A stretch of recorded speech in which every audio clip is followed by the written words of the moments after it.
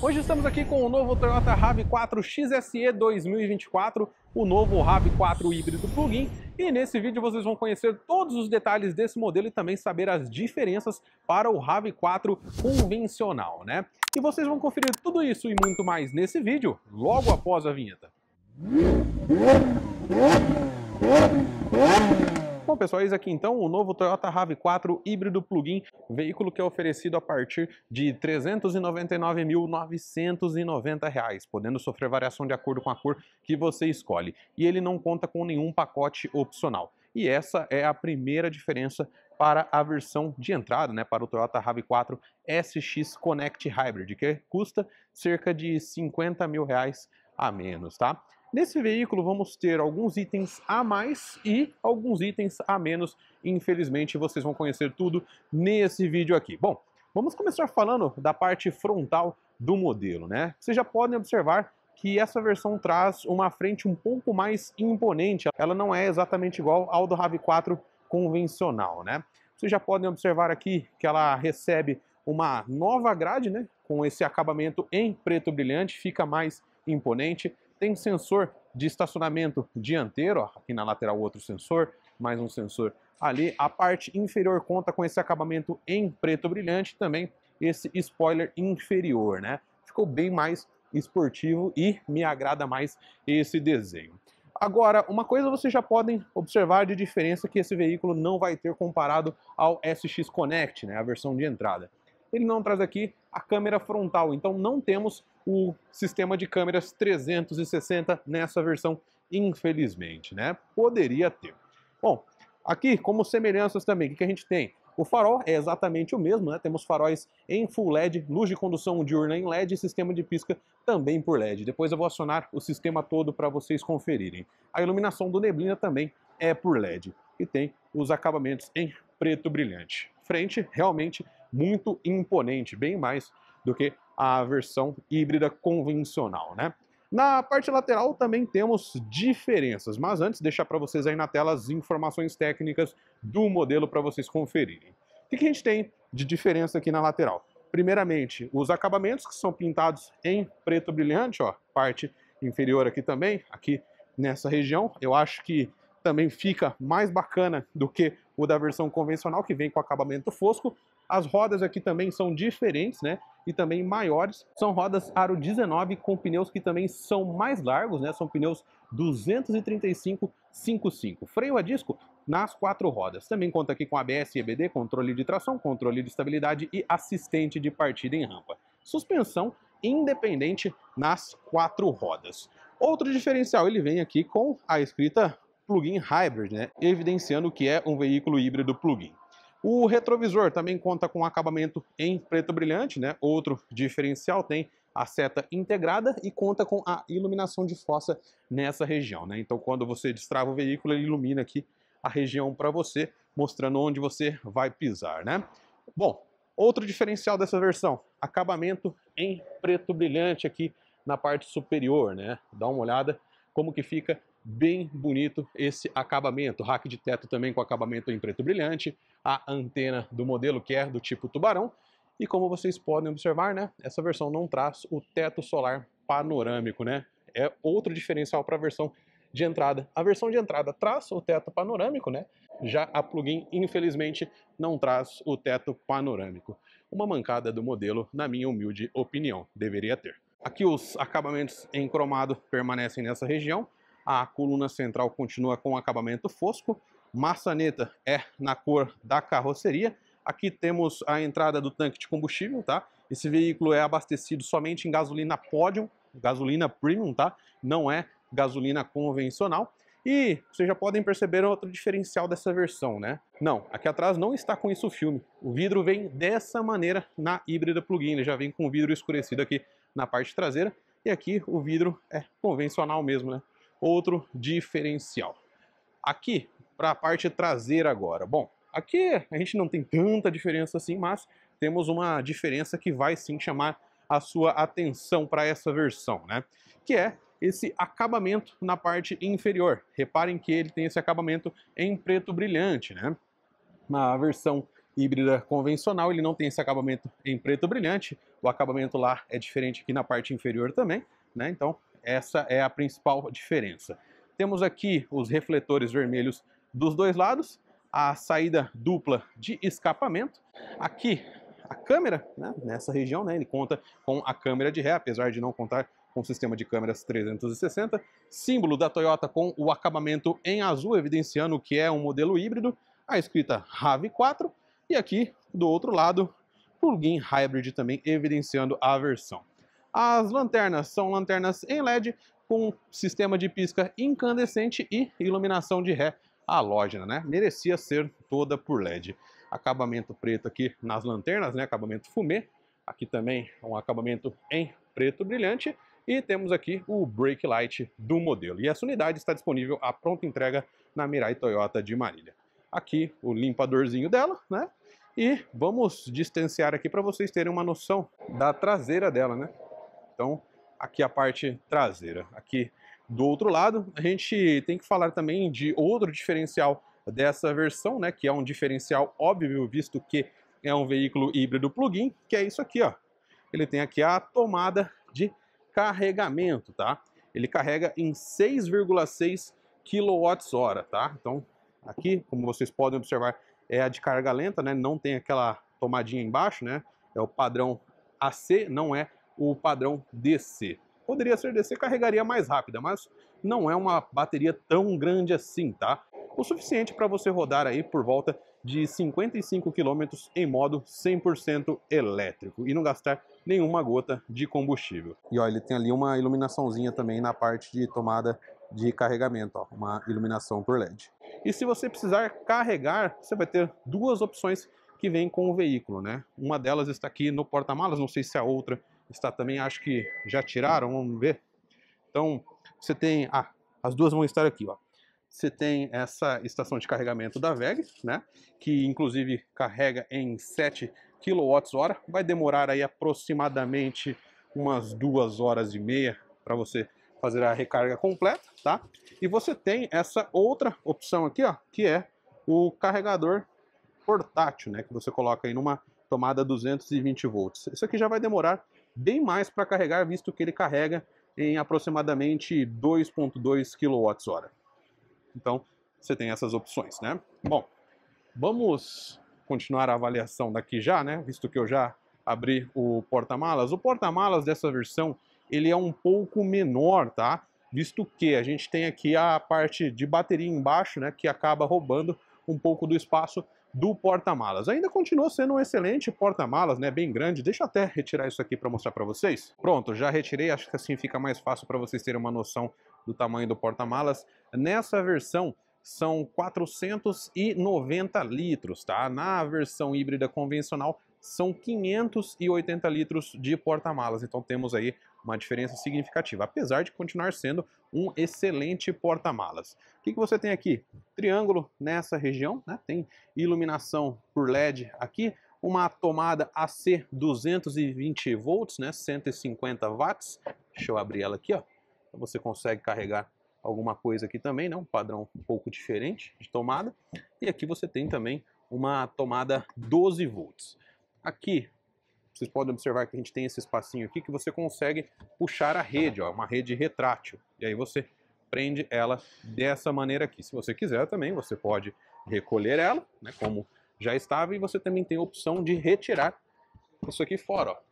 Dá uma olhada, aí você fica com um espaço excelente. Bom, e outra coisa que eu tenho para mostrar para vocês aqui, né, é que logo aqui embaixo temos o step do modelo. Ó. Então, Deixa eu ver se eu consigo prender ali. É, prende ali só para vocês verem, ó. Step do tipo temporário e aqui o carregador de uma maneira um pouco mais fácil para vocês verem, né? 220 volts, 10 amperes, ó lá. Carregador Toyota. Tem chave de roda aqui também, né? Tudo aqui nessa região. E aqui a parte de fusíveis, né? E ó, o macaco está logo ali atrás. Bom, agora eu mostrar para vocês o espaço com os bancos tombados, né? Então, os bancos são bipartidos, você consegue tombar de maneira individual. Esse aqui é o espaço dele com os bancos tombados. E o espaço do porta-malas com os bancos tombados. E ó, outra coisa legal de se dizer sobre os bancos desse carro aqui é que você consegue ajustar aqui a angulação, ó. Dessa maneira você vai ter um conforto um pouco maior, né? Só que você prejudica um pouco da litragem do porta-malas. Ou você pode deixar assim, ó. Então você tem a opção de deixar assim e a opção de deixar assim. Interessante, né? O de lá também dá para fazer a mesma coisa. Continuando aqui, outra coisa que a gente tem para falar do porta-malas é que ele conta com ganchinho dos dois lados para você prender uma rede se necessário, né? Mostrar para vocês aqui o acabamento da parte superior, ele conta com esse acabamento plástico aqui. Tem o botão para você fazer o fechamento do porta-malas, então apertou ali, ele começa a descer. Tem também o anti-esmagamento, então você coloca a mão aqui, ele já para, né? Só encostar que ele já para. Bem configurado, inclusive, né? Bem preciso. E vamos mostrar para vocês aqui também. Você pode fazer o fechamento assim, né? Puxando e ele já inicia o fechamento.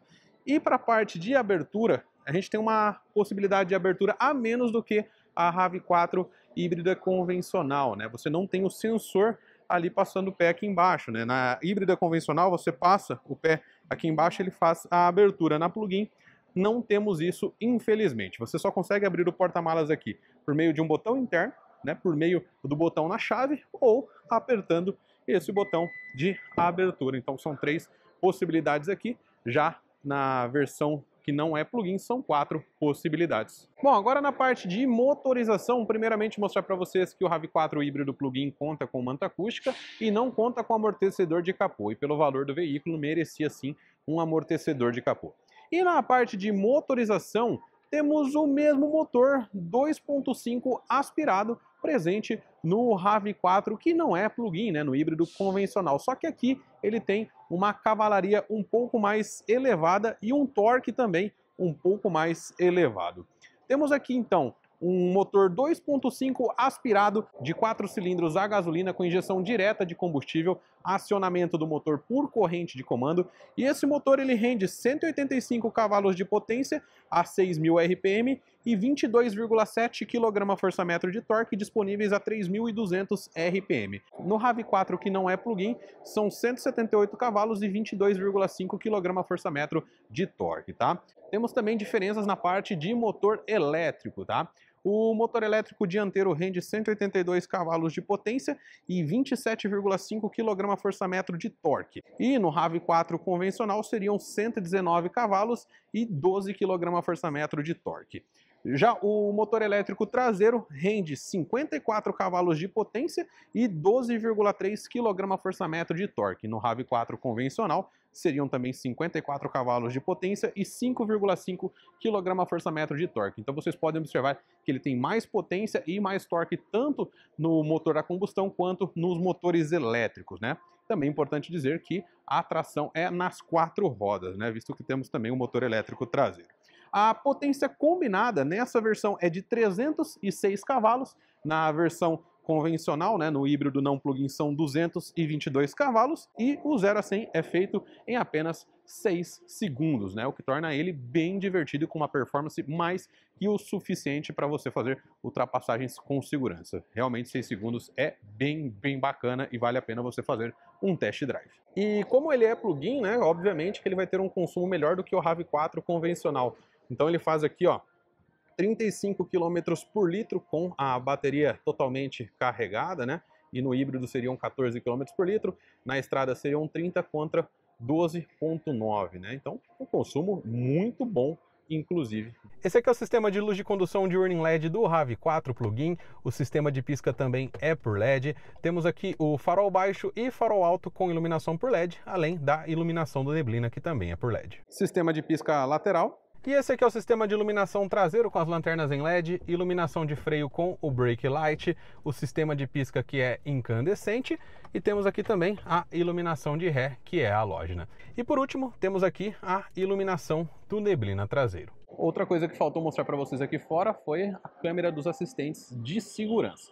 Bom, essa aqui é a chave do RAV4 plugin, uma chave do tipo presencial. Tem a escrita RAV4 desse lado e do outro lado, travamento destravamento do veículo, abertura do porta-malas e você tem esse botão AC também. É uma chave diferente da versão convencional, né, do modelo não plug-in, e ele conta aqui com esse botãozinho AC para quê? Você segura aqui apertado ó, e ele dá uma partida para você. Na verdade, ele liga o ar condicionado e já vai refrigerando lá dentro, né? bem interessante. Ele está ligado aqui no modo elétrico, então você só ouve o barulho do funcionamento da ventoinha do motor elétrico. Bem pouca coisa, não dá nem para ouvir aí com o microfone. Bom, aqui ele conta com a iluminaçãozinha de fósforo que eu falei para vocês, né, uma iluminação halógena. E para fazer o destravamento aqui, colocou a mão aqui dentro, ele já abre o retrovisor para você e destrava o veículo. Também é importante dizer, ó, retrovisor conta aqui com o assistente de ponto cego, né, o alerta de ponto cego. Eu acabei não mostrando. E eu não vou mostrar para vocês aqui a abertura de vidros, porque ele não faz abertura e nem fechamento dos vidros pela chave. Beleza, pessoal? Bom, vamos fazer o acesso aqui no RAV4. E esse aqui é o interior do RAV4 híbrido plug-in 2024, onde ele conta aqui com bancos com acabamento diferente do da versão não plug-in, né? Então temos esse banco em couro com as costuras em vermelho, tem essa costura com essa faixa diferente aqui na parte interna, acho que ficou muito, muito bonito, o banco é bem bonito, encosto de cabeça com regulagem de altura, regulagem de altura de cinto de segurança do passageiro e também do motorista. Dá uma olhada aqui nos perfuradinhos também, olha que interessante, né? E temos algumas tecnologias aqui também na parte de aquecimento do banco, né? Também tem a parte de refrigeração, né? Ventilação dos bancos, isso é bem legal. O RAV4 convencional não tem, por exemplo, a ventilação no banco, somente o aquecimento. Bom, outro diferencial dessa versão está aqui, ó.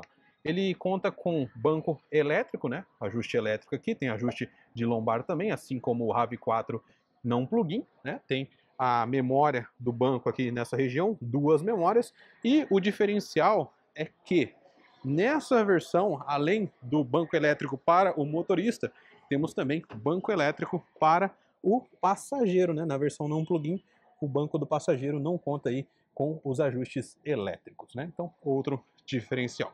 Bom, e no quesito airbags temos aqui um total de 7 airbags, sendo dois frontais, dois laterais, dois de cortina e um de joelho para o motorista. Parte inferior aqui, ele também conta ali com os dois pedais, visto que se trata de um veículo automático, e o descansa-pé. Tapete com a escrita RAV4, né, um tapete em carpete também. Aqui nessa região contamos com a abertura do bocal do combustível né, e também a abertura do capô.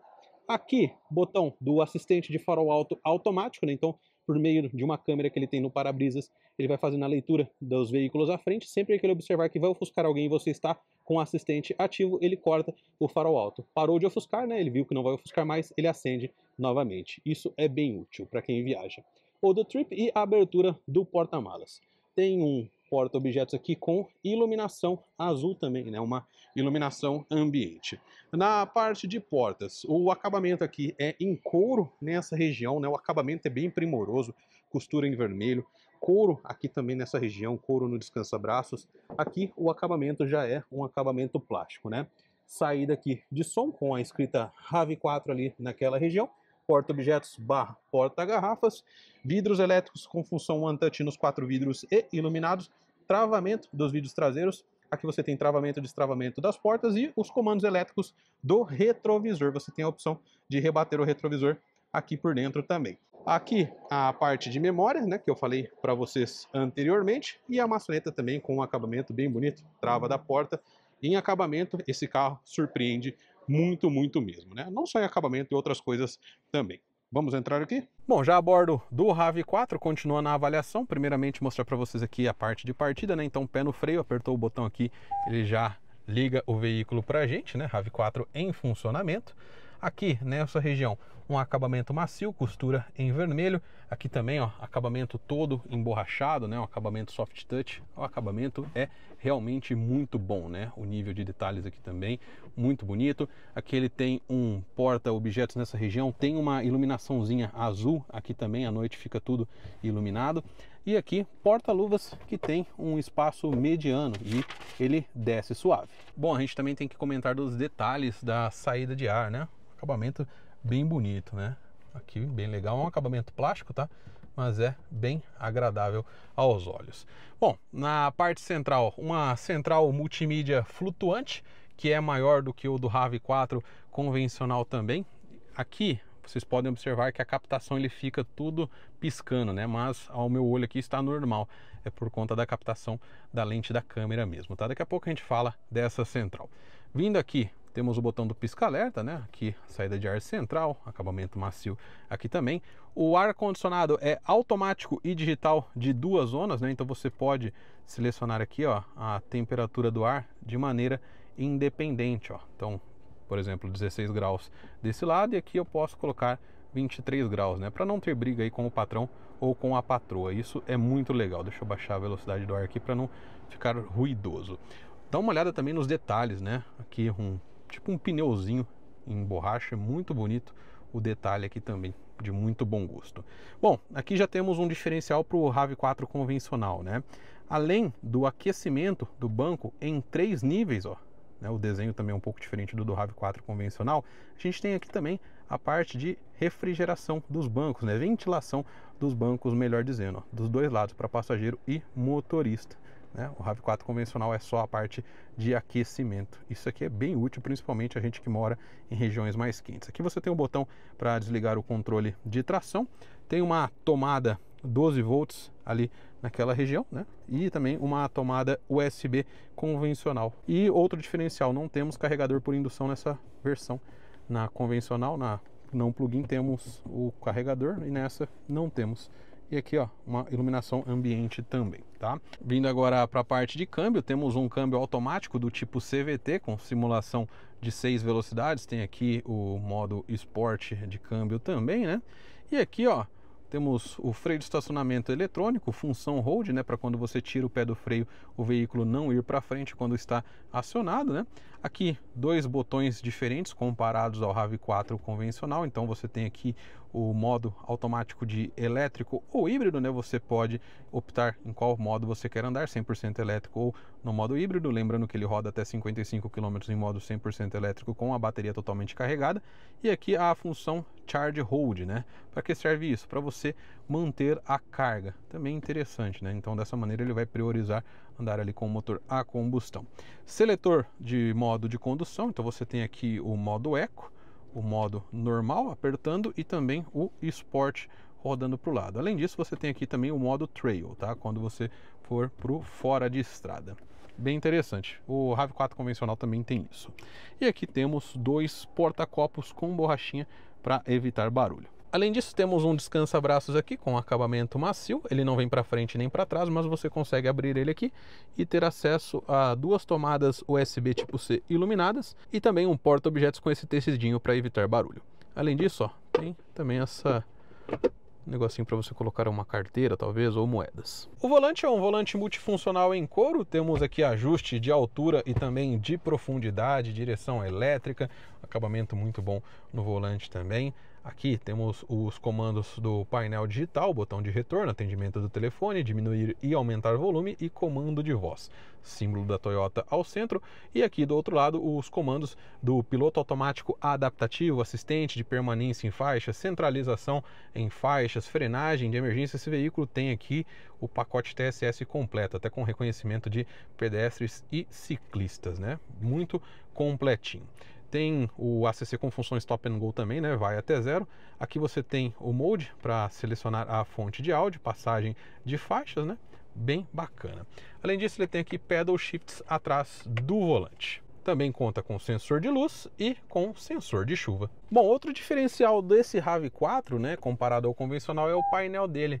Ele vem com o mesmo painel que equipa o Toyota Corolla agora, né, aquele painel 100% digital. Particularmente gosto mais desse painel aqui. E o que, que temos nesse painel? Primeiramente, deixa eu mostrar para vocês o que, que acontece quando a gente seleciona aqui o modo de condução. Então, vou colocar aqui em Eco primeiro. Né, ele mostra ali a informação do Eco, mostra o desenho do RAV4 também. Tem aqui também o modo normal, né, que também mostra ali o desenho.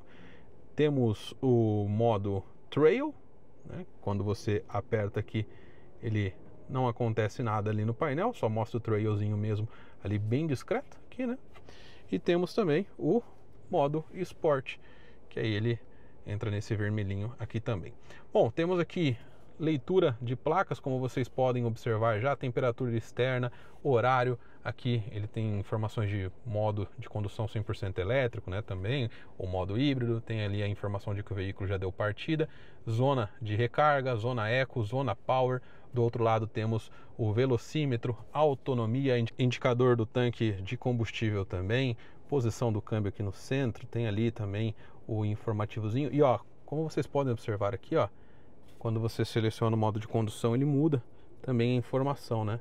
No Eco ele troca a cor ali da parte interna. No Eco, no normal e no Sport. No Sport ele fica vermelho. Bem legal.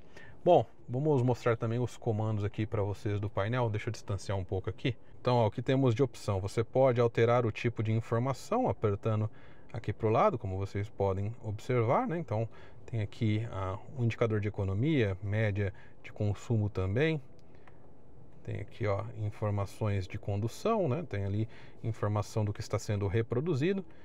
E se você segurar o OK, você consegue alterar a informação. Então posso selecionar aqui o reloginho do lado, ó. posso colocar ali pontuação eco. Aqui é informação de condução em modo elétrico, né? Tá com 100% inclusive ali. Informações de condução, pressão dos pneus. Então tem essas opções eu posso alterar a informação aqui do meio, então eu tirei ali as informações dos assistentes de segurança, posso vir para definições, mensagens, então posso também alterar ali do outro lado com essas informações, ó. então é bem personalizável e por último a gente pode fazer igual no Corolla, né? Então vem aqui em definições, ajustar brilho do painel, né? dá OK aqui para ajustar o brilho, tá no máximo do jeito que eu gosto. HUD principal é o Head-Up Display, tá? Já comento sobre ele. LTA, assistente de permanência em faixas. O BSM, que é o alerta de ponto cego. PCS, que é o assistente de pré-colisão, né? Aqui você pode desativar o sensor de estacionamento. Alerta de tráfego cruzado traseiro. Leitura de placas, né? Então tem muita coisa legal. Definições aqui do veículo. Vamos selecionar. Aqui você tem definição de carga, DRCC redução de velocidade em curva, PBD, que é a abertura do porta-malas, né? o TPWS, que é a pressão dos pneus, e lembrete de assento traseiro, né? para não esquecer nada no assento traseiro. Definições do painel, você tem as opções de personalização, língua, unidades, tipo de painel, né? assim como no Corolla, você pode alterar aqui o tipo de painel, colocar o widget ou não também, olha lá, com widget. E tem aqui também essa outra visualização que é um pouco mais simples com widget ou sem widget também. E o que eu mais gosto é esse, tá? Mas você também tem uma outra possibilidade de alteração que é o estilo de painel. Então você tem o casual, o inteligente, que é o que estava, o duro e o desportivo, que seria o esportivo, né? O que eu mais gosto é esse, para ser sincero. E quando você altera ali, você também tem a opção de deixar de outro jeito aqui também, ó. Tá vendo? Quando você altera o estilo, você também consegue alterar o tipo de painel e ficar ele da maneira que você mais gostar. Tipo de medidor analógico, velocímetro ou sistema híbrido, então você tem essas opções também. Aqui, vamos até ver como que fica aqui no se eu colocar outro tipo de painel, se ele vai dar essa opção também. É, nesse já não dá essa opção.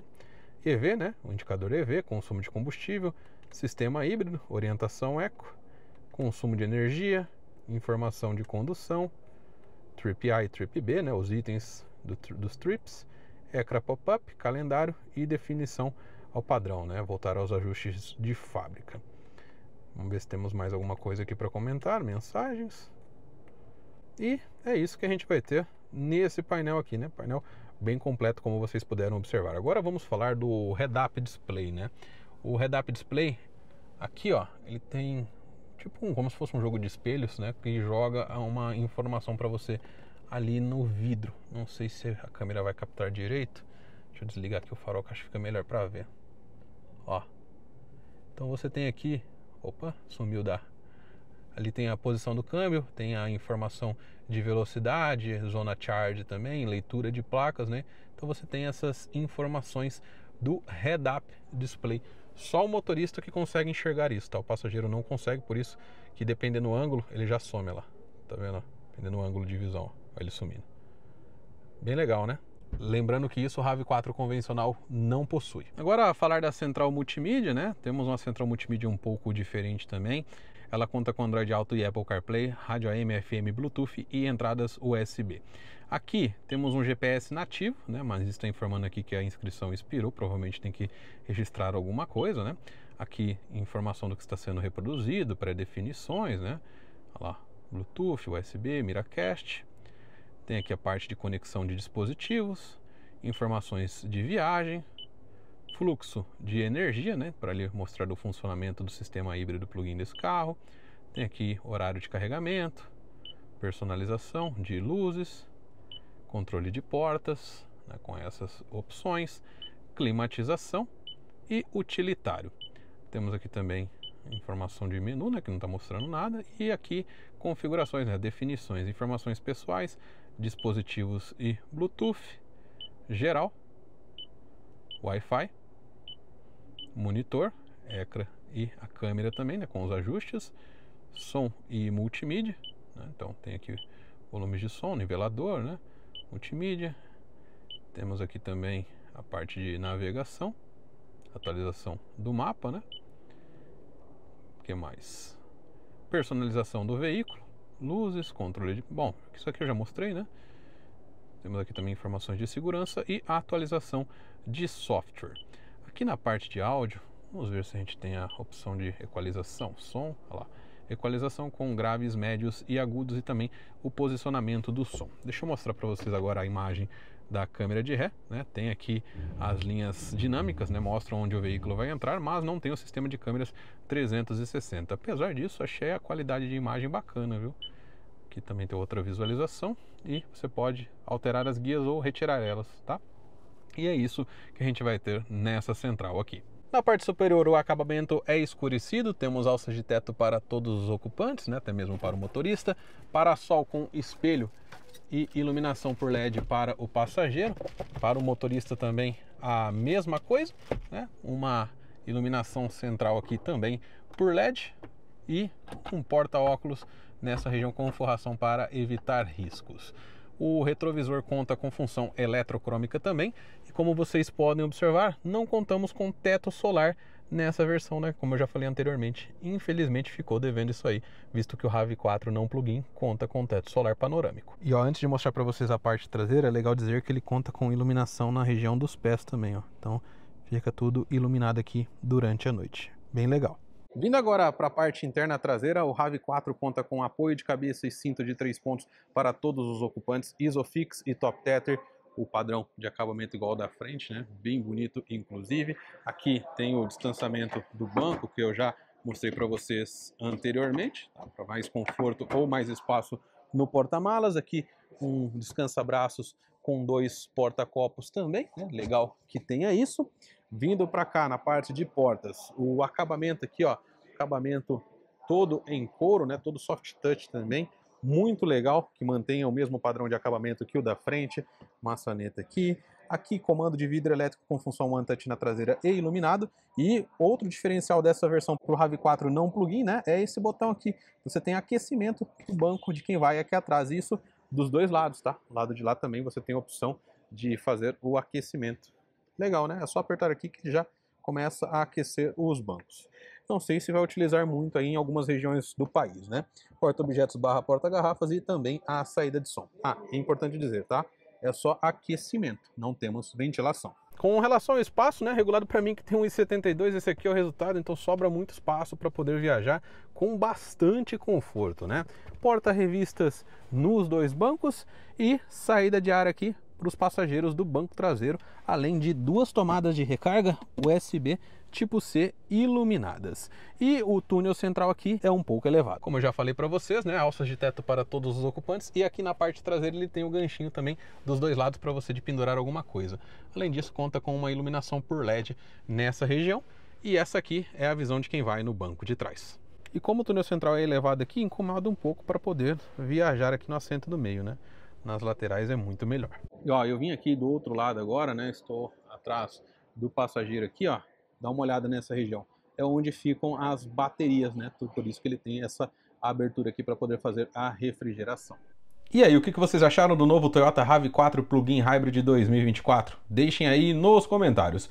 Bom, pessoal, eu sempre achei o RAV4 um veículo interessante, né? Já disse isso em vários vídeos que eu trouxe do RAV4 convencional, né? É um veículo que tem uma boa gama de equipamentos, tem também um conforto muito bom, uma qualidade de construção e materiais também excelentes, além de né, performance bacana e um baixo consumo de combustível.